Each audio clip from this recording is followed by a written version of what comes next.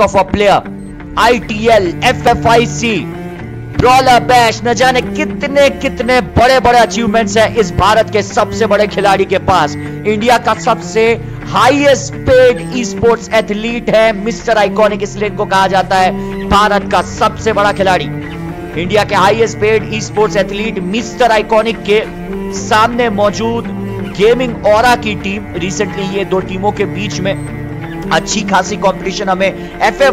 में भी देखने को मिली है। और जिस किस्म से मिस्टर आइकॉनिक खेल रहे हैं यहाँ पे, और यहाँ पे मदारा के ऊपर हमला, अभी के ऊपर हमला, अकेले तीन खिलाड़ियों से फिर चले मिस्टर आइकॉनिक मिस्टर आइकॉनिक इकलौते गेमिंग वाला की टीम के खिलाड़ी मौजूद, लेकिन टीम इलीट के आइकॉनिक और आईडीपी के कमाल के असॉल्ट के सामने यहाँ पे अनफॉर्चुनेटली गेमिंग वाला की टीम ब्राजीलिया में टिक नहीं पाए and that's why we call them the highest paid esports athlete of esports free fire india. Bye